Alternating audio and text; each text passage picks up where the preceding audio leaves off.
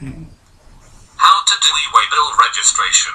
Go to the GST portal. That is www.gst.gov.in.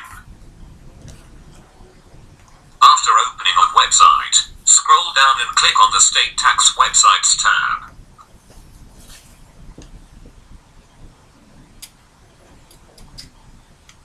This is a list of states.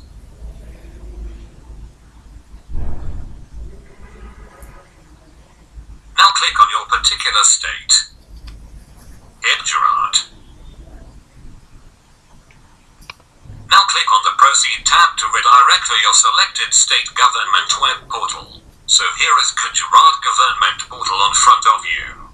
Now scroll down the page and click on the GST e-way bill portal. You will be redirected to the way bill portal.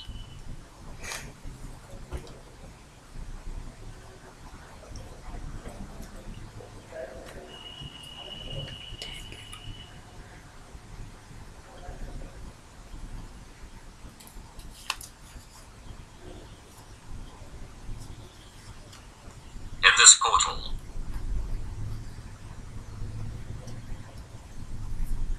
Just click on the e-way bill registration tab to register your company for e-way bill.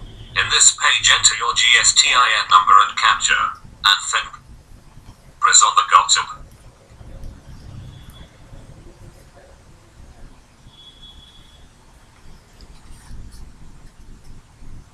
GST portal will fetch your detail on the basis of your GSTIN number. Now click on the Send OTP tab. Enter the OTP received on the registered mobile number and verify the same by clicking on the Verify OT button. You will be now asking to enter the new username and set a password of your choice. The system validates and pops up a message. If there is an error in the details entered by you, once all the details are correctly filled, username and password will be.